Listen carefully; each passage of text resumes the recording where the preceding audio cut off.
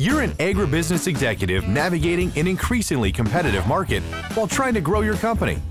Mergers and acquisitions are pitched as an accelerant to growth, but many M&A deals destroy more value than they create. Welcome to the Pacesetter Pod, where we explore and reveal the perspectives, insights, and approaches for successful mergers and acquisitions. Here's your host, the Integration Pacesetter, Joe Mosher. Hello and welcome to another episode of the Pacesetter Pod. I'm your host, Joe Mosher, and always I really appreciate you choosing to spend your time with us today. Today we've got a great interview for you guys. I'm going to be sitting down with Jim Schweigert. Jim is a third generation seedsman and the president of Gro Alliance. He's got a ton of experience in the space, has held and continues to hold big positions at the American Seed Trade Association, uh, is published in Seed World, really has a lot of contributions to the industry outside of his day to day operation and leadership uh, responsibilities. And so it's a real pleasure to have the chance to sit down with him. A little bit about the companies that Jim leads before we get into this. Gro Alliance is the largest independently owned seed supply chain solutions provider in North America. And they specialize in things like seed production, custom seed breeding, and aggregating growers for closed loop and value added seed products. In addition to their domestic operations, Gro Alliance is also involved in a joint venture in Chile called CIS Alliance or CIS Alliance, and they offer custom seed breeding services in row crops, oil seeds, vegetables, etc. And Jim and Gro Alliance also launched Breeder Direct in 2020 to provide corn and soybean germplasm to seed companies. And this is stuff that Jim's going to talk us through, but it really speaks to the depth and breadth of what they have going on. A couple of things you need to know about today's conversation and some of the reasons I think you're really going to enjoy it. Jim is rich in lessons and very generous in his insights. He's going to talk to us about what does it mean to build and then to preserve a culture of change and innovation in a family owned business. Talk to us about what does it mean to articulate your core competencies, to do that work of saying, what are we really, really good at? What do we do differently and better than the competition? And then have the courage and discipline to actually act upon that. He's going to help us to, uh, see what the importance is of making big bets that fundamentally change what your company does, who it serves, and how do you do so honoring the past without being captive to what you've done previously. And he's also got some great insights around understanding that the risk of doing nothing is not zero. And in fact, inaction could be the most dangerous decision that you make.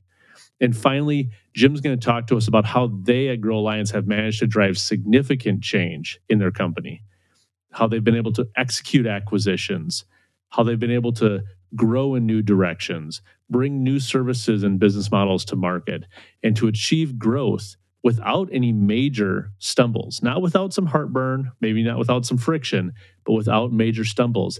And they did it without needing to bring in outside advisors. And so he's going to talk to us about what is the secret to not needing help. So, very excited to have the time with Jim. And with that, let's get into the interview. Jim, good afternoon. Thanks for coming on the Pace Setter Pod today. Yeah, thanks for having me. Looking forward to it. Yeah, this is great. We had a we had a really good uh, discussion, an introductory discussion here a couple months ago before the holidays, and uh, it was pretty clear pretty quickly to me that uh, you're a thinker in addition to being a, a doer and someone who's you know uh, deeply steeped in the in the space where you operate, which we'll talk about here. Um, and and just the exact profile of the of the kind of agribusiness leader we want to have on the show. So I'm I'm really excited. Um, before we before we get in between your ears and get after all your thoughts and insights and perspectives um, for those listeners that are maybe only adjacently aware or maybe aren't aware of of, of you and, and your work you know, you've got a lot going on uh, with your your roles at, at gro alliance you know, breeder direct cis there's a ton here. So maybe start off by you know sharing with our listeners an overview of of those businesses uh, the roles that you play and, and what those businesses do so that we can get grounded in that work uh, where you spend your time and the spaces that you compete in. Yeah so uh, everything we do at gro alliance is really about bringing seed supply chain solutions to the broader seed industry. Uh, and as you mentioned we, ha- we have three business units that we execute that strategy through. Um, the main one being Gro Alliance. Uh, at Gro Alliance, we're providing nursery services, uh, so custom breeding services in, in, a variety of species in the US. Uh, we're also doing seed production, primarily in corn and soybeans, uh, in the US through five uh, different locations um, across the Midwest. Um, so providing you know from the beginning of the nursery work all the way through finished seed production and then extending into logistics um, seed delivery return rework and providing all of those kind of services under the gro alliance umbrella. Sis alliance then is how we execute the counter season portion of that supply chain. Um, so we're doing custom seed breeding in chile and a variety of nursery services there on up to 20 different species a year. So vegetables, row crops, oil seeds, uh, re- really the entire gamut of work that we were doing in Chile uh, under CIS Alliance. And then Breeder Direct is our newest business unit that we launched in 2020. And there we're helping support the seed industry through uh, germplasm access in corn and soybeans. Um, so we're out licensing corn and soy germplasm to independent seed companies so, really ex- exciting to be able to provide a seed company everything that they need to be in business from genetics, services, production, beginning to end, their entire seed supply chain, all under one roof. That we like to say you, you could be a seed company in the US uh, by partnering with Gro Alliance. All you need is a laptop and a warehouse, and we take care of everything else for you.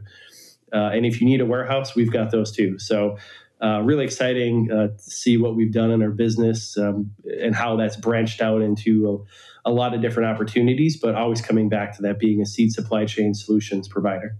That's great. Thank you for the overview. And on the breeder direct side, just as, as an aside, I mean, that business is in growth mode. If I understand correctly, you even just recently completed an acquisition there as well. Is that correct? Yeah, we announced in December that we acquired um, rights to access the Farmers Business Network corn germplasm pool, which is a very significant pool of corn germplasm. So this gives us a lot of opportunities for crossing that uh, germplasm with other corn from other originators to make new, unique, uh, novel hybrids for seed companies, as well as outlicense the portfolio of, of seed um, hybrids that they had already de- developed. So adds significant depth to an already really strong lineup in corn for breeder direct. And uh, yeah, we, we continue to look for those kind of opportunities because one of the, the biggest challenges that seed companies have is finding good, competitive corn germplasm at a, a royalty price that they can make a margin on. And uh, so we're trying to answer that call through the relationships we have, both with breeders and with seed companies and make those connections um, to offer that solution. Yeah, it's it's very exciting to watch. I mean, and we're going to get into a little bit of uh, today around your just the the laser like focus that you've already sort of illustrated here today by talking about how all three of your operating entities really do come down to one underlying core purpose. It's the strategic through line of, of all your holdings, um, and that comes out a lot. But before we get into what the business was because it is a process of evolution and it's a it's a pretty interesting story.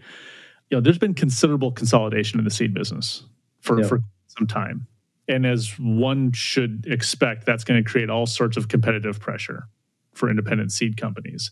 From your standpoint, from the way you see the world, the conversations that you're having, et cetera, what's the outlook here? Is the pace of consolidation likely to sustain what it's been over the recent past? do you expect this to abate and maybe slow down or decelerate? Is it going to accelerate? And then further, as you think about that that consolidation trend, what are the other trends or changes that you're watching that help shape the decisions you're making around strategy and growth? Well, the the first one is you know we think about you know maybe the last um, 15 or so years of independent seed companies in the United States there was a significant amount of consolidation in the kind of 2000s, late 2000s, where you had multinational companies buying independent seed businesses, and there were you know more than a dozen transactions in that time frame. It was really really active, and a lot of seed brands exited the market in that round, and then subsequently as they were you know kind of decommissioned by the buyer, uh, the acquirers over time So that was really a significant round of consolidation. And then there was a bit of a period of adjustment. Everybody was kind of getting used to the new marketplace, and the multinationals were digesting all these acquisitions. They had significant changes in their own businesses, you know, with um, the creation of Corteva, the uh, Bayer Monsanto um, acquisition, Syngenta becoming part of ChemChina. And so there was a lot of just uh, churn at the multinational level uh, there for a few years. Recently, there's been independent companies buying other independent companies. Uh, there were four or five of those a- acquisitions last year, and the year prior there were a, a few as well. In terms of future consolidation, I don't know how much consolid like true consolidation we're going to see. Meaning, I'm not sure how many more independent companies are going to buy other independent companies or what appetite the multinationals have to buy an independent. I think the way we're going to see the kind of quote consolidation happening is independent companies just exiting the business altogether, whether that's by their own choice at a generational moment when they don't have another generation to transfer to and they don't really have a good path to being acquired or they just find themselves uncompetitive in the marketplace and aren't able to continue on in, in the way and shape that they are today. So it is kind of a form of consolidation, but it's it's not the type of consolidation through acquisition that we've seen historically. It's it's more just exits. Interesting. So it's a thinning of the market, basically, of the competitive landscape, and maybe something we can talk about too. Or if you want to answer it now, I imagine, given that the independent seed company is a is a primary focus of your business, fewer is not necessarily bad because fewer could be bigger, but fewer also does mean a contracting marketplace in terms of potential buyers. And so, do you see that as a competitive risk or threat, or is that largely an opportunity where you guys are at today? Well, we're very optimistic by nature. We're very entrepreneurial. So, anytime we see a, a, challenge or a threat, we try to find the opportunity in that. But frankly, we are concerned about the, the future of a lot of independent seed companies. And our business largely relies on those companies being competitive. Us ourselves being a you know family owned seed company started in 1941. Uh, you know, so we have deep roots as an independent business in this marketplace and those companies make up a, a, a large share of our business activities. So we're concerned about that, and it's it's one of the the big motivations for us providing new and creative solutions in an ongoing way. Like always surveying that market and that landscape and asking asking these questions directly of seed companies like what's the biggest hurdle for you to achieve a, a positive margin today and in the future? What's your biggest risk as an independent seed company? And what keeps you up at night? And then we collect these answers we review them think about them internally do brainstorming. Uh, we do red teaming um, all kinds of different activities about and to try to like put ourselves in those positions. And having been in the retail business in the past we, we understand some of those concerns and pressures and and threats and, and just the emotions around the, the seed business. And we come up with our best ideas that we think can can help. And sometimes the, our ideas don't really work but uh, we we keep flipping over rocks. We keep looking for new new answers to those those challenges and questions and and trying to provide solutions to uh, to the industry. Yeah kind of starting with where you started there. I, mean, I think optimism is sort of table stakes for the for agribusiness writ large. For yeah. the seed business you almost need to be recklessly optimistic to stay in it year on year. So I think that's a you know it's certainly something we can will appreciate and understand, and probably is a good validation. To look in the mirror and say, well, how is it that I stay optimistic every year? Know, I'm from Minnesota, so being a Vikings fan, you kind of are always like, well, there's always next year. There's never next year, to be clear, right? It's it's, but um, so let's. I want to come back around to this. I think this is we're sort of nibbling now at this at the story behind Gro Alliance, behind Sys Alliance, behind Breeder Direct and so I'm going to take a different angle here, but 15 years ago or so, the concept of core competence, your core competencies as an organization was, was hot, right? Everyone was reading Good to Great and Jim Collins, and you know maybe I even know the dates wrong, but that's when I first became acquainted with it, the, the work, and it changed the way a lot of people thought about their businesses, and that's true both inside and, and outside of ag, right? We don't we haven't not cornered the market on spending time thinking about this And I would argue that over the last 15, 20 years, that, that thinking around core competence actually contributed in a pretty meaningful way to the disaggregation of many businesses. So they, they realized that there's a point at which diversification beyond some kind of logical boundary created risk more than mitigated it, right? The old conglomerate models, and I'm talking about much larger organizations, they saw risk and diver- or they saw risk management and diversification because you kind of had you're placing multiple bets. But then over time, people started to realize that that actually dilutes your focus, right? It creates confusion for the customers. It creates confusion for your employees. It makes it pretty difficult to build any sort of a cohesive strategy around what it is you're trying to accomplish. And the idea of core competence is, is durable, and you still hear people talk about it. But what I think is infrequent back then and is outright scarce now, and maybe I've got this entirely wrong, this is how I see it, seeing people actually make decisions and particularly make uncomfortable strategic decisions that really dial in on core competence is scarce. I mean, this is about addition through subtraction, right? You can go farther and accomplish more when you try to do less. And from my understanding, I think it'd be good for you to share your story here.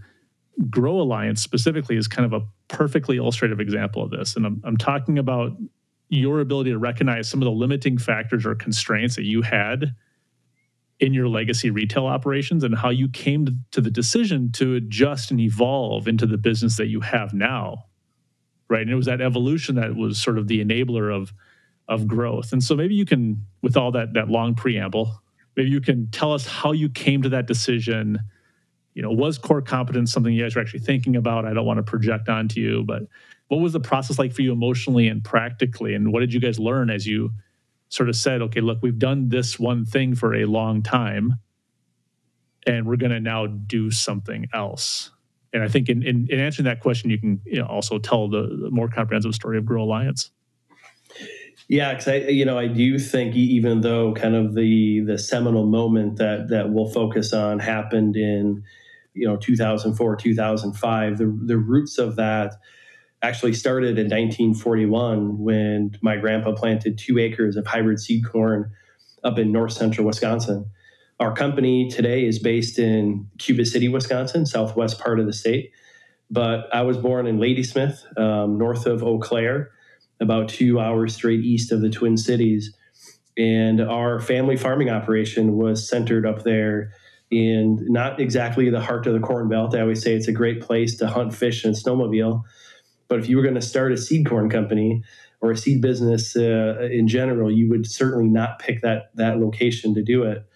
But that's where the family farm was, and my grandpa's motivation to plant hybrid seed corn and give that a try in 41 was try to find a way to make more money off a small farm in a pretty tough place to be.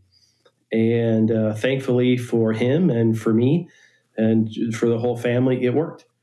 Uh, but he faced a lot of criticism. Uh, you know, being the first one to do to detassel seed corn and cross two different inbred lines together, raised the ire of neighbors. They thought he was crazy. They didn't know what he was doing, and mm-hmm. it was silly. But when it worked, then he started selling seed to neighbors, and he thought, "Boy, this is actually pretty good. I can." make more money than just farming. I can make more money than being in dairy. And uh, maybe this is something that I should do. But he had some resistance to change. And so the seed selling piece of the business was very minor uh, until my uh, mom and dad took over the business in 1977. They recognized the big upside opportunity for having a retail seed brand in that area. And they de emphasized the farming activity and focused uh, primarily on sales of seed to farmers in our own brand. At the time, that was called North Grow Seeds. And so they expanded the brand of that business and were producing their own seeds, selling to a, a broad area in Wisconsin, Minnesota, getting down in, into parts of Iowa and southern Wisconsin. But they didn't have enough production capacity in, in the geography they were in uh, just wasn't a good place to produce seed corn for a, a, broader group of customers. And so they started looking for a facility more in the heart of the Corn Belt. So to do something a little bit different and continue to produce their own seed, but find a better location. And in 1993, we probably did even a more bold move than we did in 0405. Uh, my dad made the decision to buy a seed corn facility in Cuba City, uh, formerly a Jacques facility uh, that I think Mycogen actually had owned at the time we bought it, and moved the seed company and the, the family from northern Wisconsin to Cuba City. And we then had significant capacity to do production. We had we're much closer to a bigger piece of the market and uh, really set us up well there to grow and expand the company. But it's pretty uh, unique in the seed business to move a business, mm-hmm. and uh, I've, I've you know done a lot of thinking about this to see what other companies have relocated uh, in the seed business, and it's not many. So then, I mean, so it's it's a bit reductive, but it's almost you don't say it's it's in, it's in the DNA of the company to kind of watch where things are going, see the operating constraints that you're under, and then make those decisions. And, and maybe core competence, which was where I started, is, is not actually part of it. But then to talk about the the decision, the the run up to the planning, the execution, reestablishing your equilibrium, about exiting retail to make this final big adjustment into that first iteration of Gro Alliance, which I know the story is evolving daily, but how did that come to be and what was the calculus there? Well, the biggest driver of the move from northern Wisconsin to Cuba City was to to be closer to the market, to to expand the the retail sales of the business. And from 1993 through er, you know early 2000, that was the the, the main focus and strategy of the business. Because we had extra seed production capacity in i think in, in 1994 we actually started doing some contract production work for a few other companies just as a way to, to utilize the asset a little bit more but in 1994 95 96 97 the idea was that the focus was going to be on the retail brand and this was something we were doing to fill in it was helping another seed company which was good for them, helped us utilize the asset. But as a few more years ticked by, we realized that this is what we were really good at. We had a, a very good location, a quality facility. We had we were able to make additional investments in the facility in the early 2000s and to, to make it a really nice uh, production site had good teams uh, in place good grower base in place and when i came back to the business then from I'd gone to school and worked in the public relations industry for a while. Came back to the company in 2003. We started looking at a broader survey of the industry to really understand where was our place as a retail company, what was going on with uh, access to traits and to g- genetics, what was our competitive position there, what was our competitive position on the contract production side and we saw a lot of companies exiting production to focus on retail.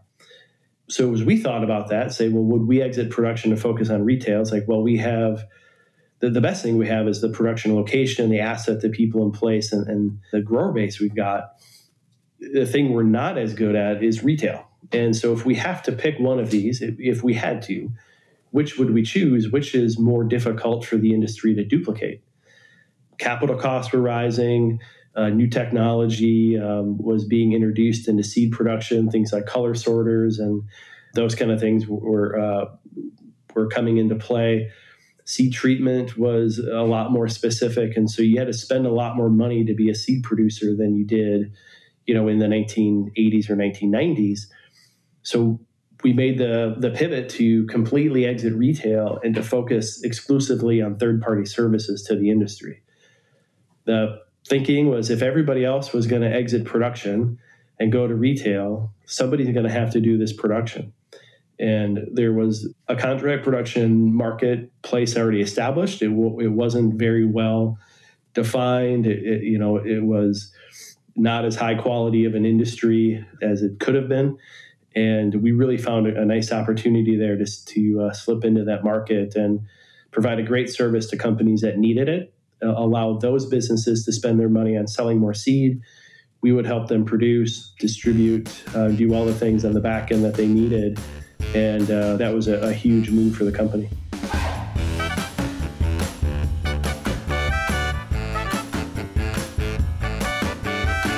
Poorly executed mergers and acquisitions destroy more value than they create. They can set your company back years. To defend your firm's position in the marketplace, you need access to the leading practices that unlock the greater potential of your people, processes, and systems. If you are undertaking a company transformation or pursuing an acquisition as a vehicle to grow, set up a call with Joe by visiting www.moshercg.com.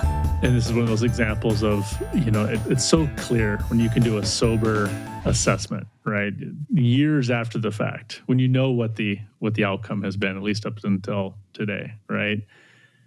And so I can understand how the analysis, the view of the marketplace, seeing that people were exiting contract production because it was hard, because it was getting complex, because it was getting more and more expensive, and you know people piling into retail. And so I can I can understand how you do the assessment, but what I think is really worth noting here is you did the assessment and then you still acted. So you still, everyone else is running away and you ran in the opposite direction. And uh, that's just, I think that that's just a really interesting moment of saying, you know, we've, we've, we've got the conviction.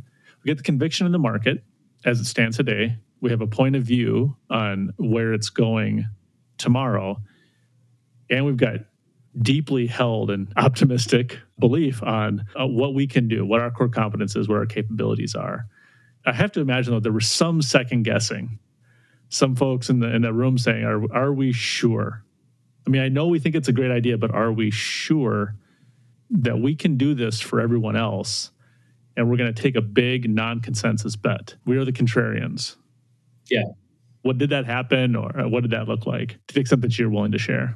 Well you know i think it's uh, you, know certainly we had conversations about you know what is the viability of a contract only production company and could that be better than what we have now? And i, I think businesses get into these situations all the time. It's not un- unique to us. It's if you go back through historical ex- examples of you know places like kodak and Nokia and you know BlackBerry is another one. I mean, businesses that have something that's really good in the moment, but you look up maybe five to ten years and you say, you know, there's some headwinds here that uh, could derail us. So you've got to make a bold decision either way. It's not staying and doing the same thing isn't less risky than doing something different. And I think a lot of people have that kind of that that kind of perspective that well if I if I'm doing the same thing I'm doing now, that's a lot safer bet than changing what I'm doing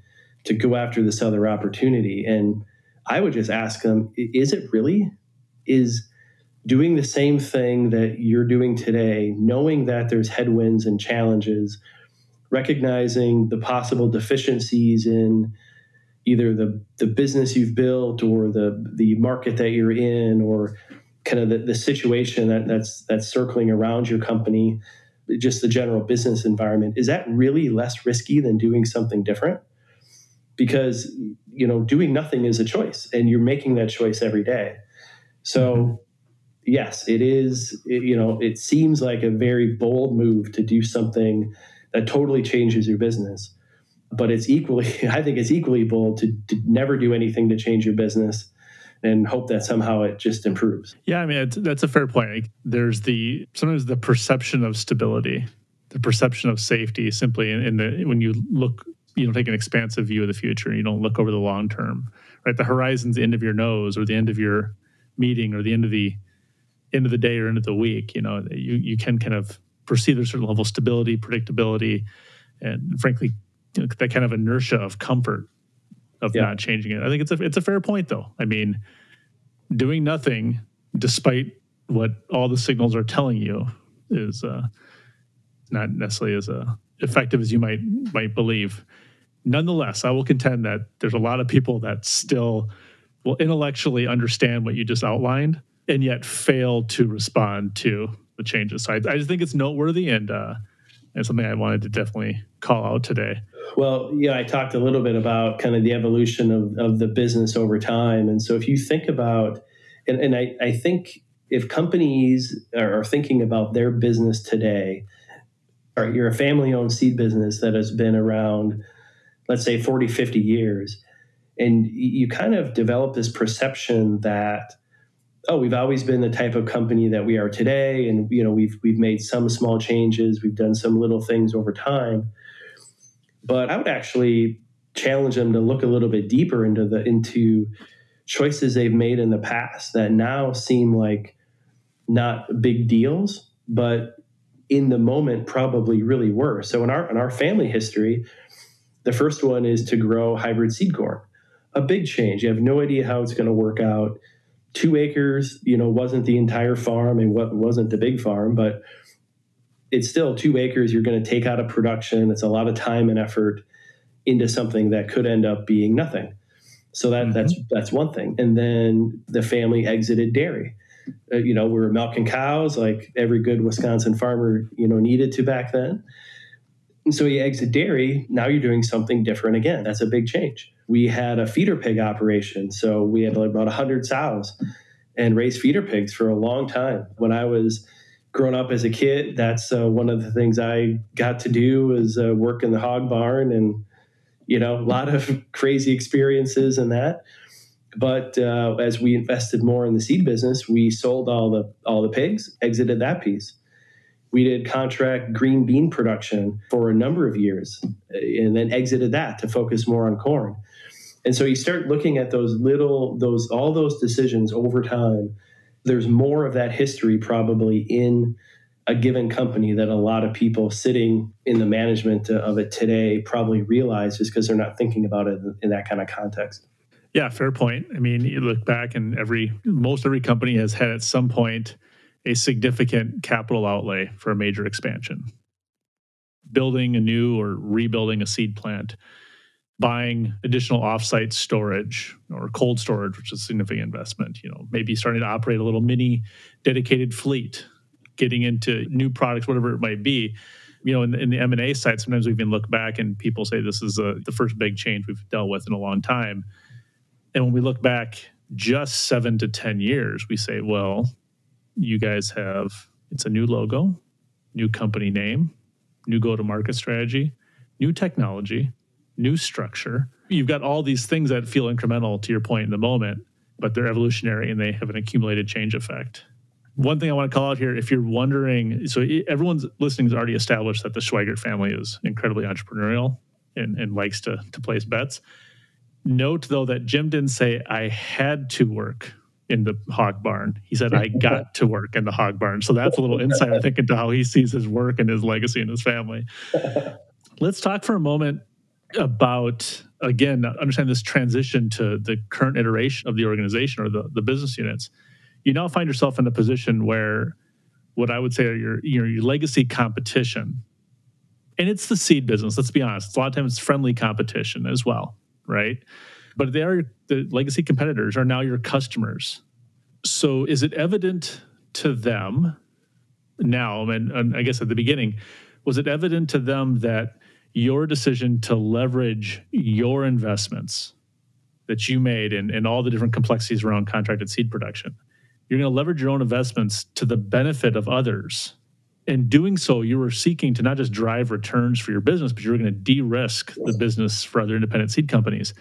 What was their adoption curve like? Like, what was? How did trust play into that? How did you actually establish? I mean, clearly they can see it, the need, and clearly you guys are a credible provider because you've done it you're not outsiders coming into the seed business that did a market analysis and said this is an opportunity we're going to build a business around it you're like no we're already doing it but i got to imagine there's some sort of barriers to adoption there in making that adjustment yeah it's really interesting because we've we've moved along this supply chain in the seed business multiple times. And you know the first one exiting retail and becoming focused on third party services was the first one. And some companies were, you know, they understood that transition very clearly, or we were able to articulate it better to some than others, apparently, because uh, we had quick adoption from some companies, and others just still always saw us as a retail seed company that was the competition. And, you know, that's happened multiple times in our company history. As we moved into nursery services, there were some that said, well, you guys are just a producer. So do you really know how to do hand crossing? And can you really uh, you know, you know, manage inbred increases and pilots and crossing blocks and well, yes, we have the people, the talent. We we got into that business through an acquisition of a facility that had a very very experienced, incredible staff, and those are the people that are going to be doing that type of activity. So yes, we we have that experience through an acquisition, but it's been interesting because as we've changed and evolved the companies, it's sometimes the, the folks that have known us the longest have the slowest kind of ability to understand the, what the new company is doing and the new direction and the new services we provide. It's like they still they still think about the business back when they were introduced to it. New companies we meet see us as a very different company than somebody that we may be working with for 25 years. That's a perception that we need to do a better job of, of, like fully educating folks on so they understand all the scope of services we do, the activities that we do, because we are trying to build this whole suite, and, and we do now have the whole suite of activities. So where you just plug your business into ours, and we can connect you with growers, with um, seed production, nursery, distribution. And we find a lot of success with startup companies. They maybe have a technology or an innovation and they need to get to market somehow and they've got a lot of decisions to make. What do they do with their capital? Do they spend it? Do they build their own vertically integrated business, or do they partner with somebody like us who gives them all of those uh, solutions on day one, and we do it as a service contract? So it's really interesting as you talk to companies. There's a the, the length of time that they know us or have known us tends to impact the way they see us, and that, that's really interesting. And so it's not necessarily, from what I'm hearing, it's not a, a deficit of trust or credibility. It's just a deficit in perception around where do you play. Was the exit of retail, because when we say exit of retail, that feels very binary. We were a retail hmm. business and then we weren't. Was that a, did you slowly spin that off and wind that down, or was that you opened the door and jettisoned it on the side of the plane one day, and that was a hard exit, and it, you're done. How did that transition go? It uh, yeah, we exited with in with two um, transactions almost simultaneously. So okay. one part of our marketing area went to one company, and the other part went to another one. Yeah. Yep. So one year we sold seed to farmers. The next year we didn't. Yeah, there's no ambiguity there. That is a that's what you call a one way door. I mean, I guess you can always reacquire one of those businesses or buy another one or start a new one but that is a that's a hard exit. So it, it does demonstrate the commitment to the direction that you're choosing to take. yeah we, we burned the ships on the shore. There we weren't getting back into the retail business right away. And then you know licenses too. We had we had licenses to be able to sell traits and germplasm and we exited those agreements as well. So interesting. Well let's talk here as we kind of get towards the end about m&a uh, it's a topic that that I spend a lot of time in, and this show um, is, is heavily focused on you guys. And you, you know, we've talked about acquiring FBN's germplasm suite, and, and talked about some other divestitures that you've done and other acquisitions. So you've got some deals under your belt. We need to talk about it. What are some of the lessons that you've learned, Jim, including the painful ones? You know, while you're sourcing deals and and closing them and managing the integrations. And I want to point out as I asked that question that you've done those transactions almost entirely, if not entirely, in house, and you've not blown up your business in the process. so that's why I, I, do want to understand what the pain was first, and then we're going to come back to what that secret sauce has been, uh, to the extent that you're willing to, to, to share your observations there. But yeah, what what have you learned, and what didn't uh, go as, as well as you might have expected? The number one thing is you know, don't try to put a square peg into a round hole. And, you know, I think there's a lot of times companies get into this. Um, it, it, may come from a, a, really well thought out strategic vision to say, you know, we need to expand into this area, we need to grow the business, you know, we, we need to do something. And how are we going to accomplish that? Let's go look for deals and make something happen. If you put too many you know what I'll call like self-imposed deadlines on things, mm-hmm. you can really end up getting into bad transactions. And you've got to have speed and patience at the exact same time, which is really, really tough. And people that know me know I'm not patient at all. And so I don't like to have to, you know, if you have a great idea and you have you have a great strategy that you want to execute and you see the opportunity, you just want to go get it and make it happen. But it also has to work. Otherwise, it's not going to be good for your business, for the employees that are affected and the, the business that's been acquired. The seller of the business isn't going to like what's happened to it, you know, after they're not involved anymore. And so you've just got to, you can't force anything to work. And you, can't art, operate under artificial timelines because you're going to end up with a deal that you don't want. That's number one. Number two, the deal has to work for you and the seller. It can't be a one sided situation. So you go in and think that either we're going to get a great deal, we're going to, you know, scoop up something way below market and that that's going to be, you know, great for us. There maybe there's a reason that you can get it way below market that you're not seeing in the due diligence or the the review of the deal. So you've got to be really careful about that situation. And then two, if you're picking it up at, at a well below market price, what impact does that have on the, the employees that are still there? Because those are folks that you need to have working on your behalf day in and day out. And if the seller has a bad taste in their mouth after the deal is done, then your ability to operate that business long term is going to be impacted the person you bought it from had relationships with all the vendors. They know all the employees. They have relationships with all the landowners and customers. And there, there's a really wide net there that if that seller thinks they got taken advantage of, that's not good for you as the acquirer. And a lot of people don't really don't really think about that piece.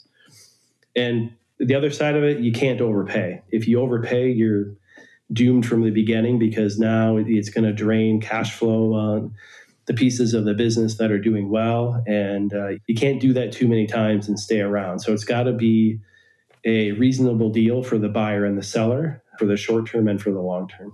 I think that's a really interesting observation around uh, it's almost the, the downside of a smoke and deal on the business, right? Yeah. We see a disc, we saw the opportunity to acquire a business that maybe was already in your sights or fits the profile of what a you know an acquisition looked like when you formed that strategy 6 12 18 months ago and this this business becomes available and for whatever reason you're able to get at a huge discounted price it, you're right that's that's not all upside if it's not communicated properly if the people's expectations aren't managed properly you could be the most strategic buyer the best suited to own it frankly the best position to nurture and sort of help the legacy of that business endure over time by recapitalizing it, giving access to new markets, investing in, in ways prior ownership can't. But if you don't package that front end part of it correctly, if you're always seen as you were opportunistic, you're a vulture, you you know you you came in and you swooped in and, and got us at a moment of weakness you're right. That is going to be an incredibly hard thing with suppliers, with customers, with employees, with former ownership to get out from under. Absolutely. Yeah, and I think it. Um, the reason we've got that perspective is is kind of number three on my list would be you're you know you're buying a business. You're not just buying assets and customer relationships. You're buying the collective knowledge and expertise of all those people that work in that business. And you aren't going to be able to walk in there day one. I mean, you know, we're talking more complex deals, not like okay, you bought a gas station or you know you bought a, a residential property and you're going to rent it out or something like that. But in a functional business, all these interactions between the customers, the suppliers, vendors, contractors, all of those relationships are, are really, really important. And if you don't have the right people from that acquired company having the right conversations, though all that infrastructure can make your life very, very difficult. So, you know, for example, if you're buying a business and they've been getting a deal on their snow removal because they let the other guy put stuff in their dumpster occasionally, little things like that, you don't think through all of those pieces of the transaction you'll find yourself with a really mad neighbor because now they have to go buy their own dumpster. And now they're just upset at you. And well, I'm not going to plow your snow anymore. And now instead of them plowing your snow, when you focus on your business, you've got to send your warehouse guy out every time it snows. And plow and rent a tractor. And that's just a very small example. But if you take that across maybe 100 vendor relationships at a certain location and dozens of growers that you're working with, all of that infrastructure piece, if you can't operate that smooth because you haven't thought about the people post that post transaction, you're just going to get buried in detail that'll destroy the strategy right from the beginning. Yeah, in some transactions, you will see that sit as intangible value on the balance sheet or in, in the in the in the valuation of the business, right? The, the relationships with these particular suppliers or or the, the the goodwill tied to the logo and the brand, et cetera. But there, like you said, there's a lot of times that these sort of almost like the, the trade partnerships, the industry partnerships, the supply chain partnerships, and just how the business runs sometimes are not properly accounted for. And you're right. I mean, one time running out in the parking lot and scolding the neighbor because you saw him dump his recycling in your bin yeah, I mean we're we're both looking down the barrel of a big snowstorm here today as we record. Um, yeah, it's it'd be nice to know that someone's going to take care of the parking lot for customers arriving on Saturday morning. So here's the last question then. If you could boil it down, so you gave a lot of good insights there, and it's a lot of the things that are, I mean, it's they're very powerful, but saying them and doing them, so not overpaying, not falling victim to urgency, self-imposed urgency, even worse properly valuing relationships and the intangibles, uh, you know, and being smart about where you make changes and where you don't. You know, make sure the deal works for the customer or deal works for both the acquirer and the acquired. All those things. It's great insights, but to do them something different. So, what is the secret to not needing help? Because I think that's what's also remarkable here is you guys do this, and M and A is 100% incremental to the demands you already have. Yeah and yet you guys are largely able to to execute these on your own. So what, what's going on there? Well, with uh, we, we're fortunate that as the business has grown, you know, I've been able to build a really, really strong operational team to to to execute all the different things that we commit to as a business. And so, the one thing I'm always checking myself against is, you know, you can't make commitments that the business can't deliver on because you, you can definitely overgrow your ability to execute. And there, there's examples of that in history too. Um, there's examples of that in the seed industry where let's just go acquire, let's just go, uh, you, you, know, make all these big moves, and then you know we'll just be able to absorb them. You've got to be able to uh, be disciplined enough to not take on things you can't do and just grow the business to a, to a point that it can't survive and it can't operate itself. Um, a, a retired seedsman once told me, make sure you're always running your business and that your business doesn't run you. And I thought that was a really, really um, interesting point, kind of along those lines. The, you know, t- to me, it's, you know, looking for new deals is really fun. I, I enjoy it a lot. You get to meet just amazing people. Uh, you learn so much about how other people run their business and what they think about and what they care about. Um, and the seed business, I think, is really special because the people that are running these these facilities are, uh, you know, the, typically their families. They've been in it for a long time, and they don't want the they don't want the building to just close. They don't want their employees to not have a job. Mm-hmm. And so every acquisition that we've made of a seed facility has been either a current or a legacy family owned seed company. And to this day, every single one of those acquisitions, we still have original employees at every one of those places. So that's, a, I think, a real strong testament to the fact that we did it the right way. We, you know, uh, not everybody is still there, of course. The businesses change, people retire, move on. But we've been able to maintain uh, those people that were originally there to a large extent. And I, I think that's really awesome. You learn a lot about your business by going through deals with people, even if you don't come to a to a conclusion, and you start to see your own business a lot clearer and a lot different.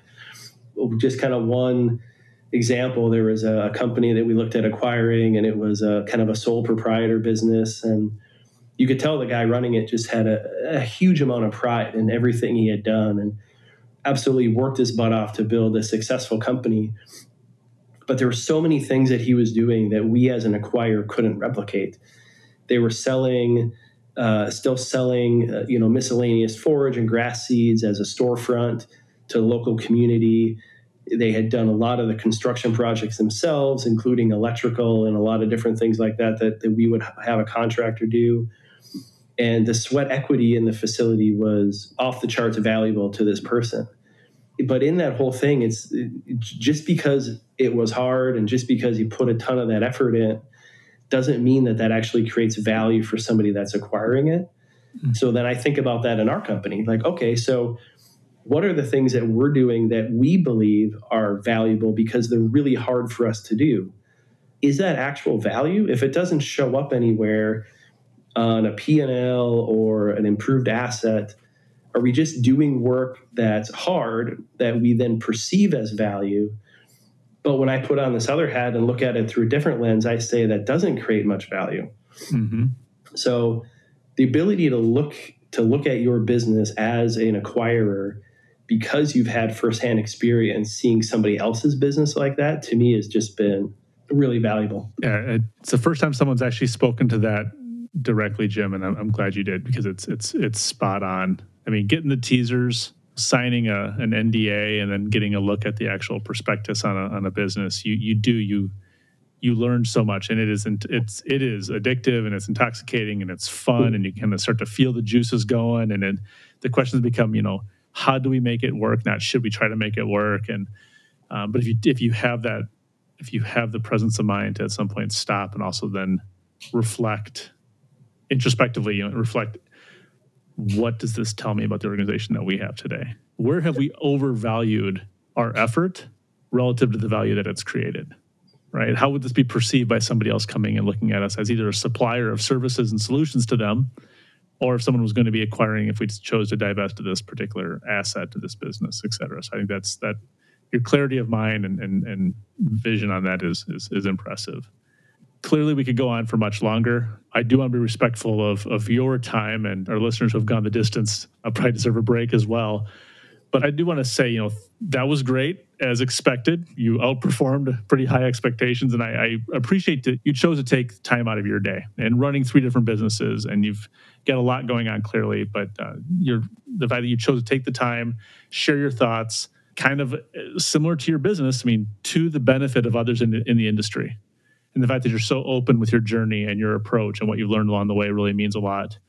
For those listeners that are interested in learning more about Gro Alliance, Cis Alliance, Breeder Direct, or want to get in touch with you, where should they go? Well, you can uh, learn a lot about at uh, groalliance.com. We've got links to all the different businesses. Uh, there's also the, the announcement we made this week. So we're uh, um, partnering with a company called SeedX that uses AI powered software to sort vegetable seeds for improved germination and purity. And so we'll be adding a service center for seed sorting in Salinas, California. So another location for us. I'm on the West Coast partnering with uh, vegetable seed company. So another a big move and step out of kind of extending that seed supply chain service concept and vision to a new geography and to a new crop type here in the U.S. So that's really exciting. And then you can always find me uh, on email, jim.schweigert at groalliance.com. Uh, if you want to get in touch with me directly uh, or connect with me on LinkedIn. So I put a lot of content out there and kind of talk about what we're doing as a company and, and as a in industry in general. So be happy to connect. That's great, Jim. And, and, literally in the course of the interview, you guys close another transaction and you continue to evolve the story. So we can't even keep up at the context of talking about M&A. M&A deals are happening in the background. So, well, we'll have you back to talk about that one as well at some point in the future. But uh, thank you again. And to our listeners, thank you as always for tuning in. Remember to like and subscribe to the Pacesetter Pod wherever you get your podcasts. And you can find or follow me, Joe Mosher, on LinkedIn, or visit us online at moshercg.com to set up a call if you, you need to talk. Let's do it. So I'm wishing you uh, safe, sustainable, and profitable execution. And uh, thank you for the work that you do for our industry. Catch you next time. This is the podcastfactory.com.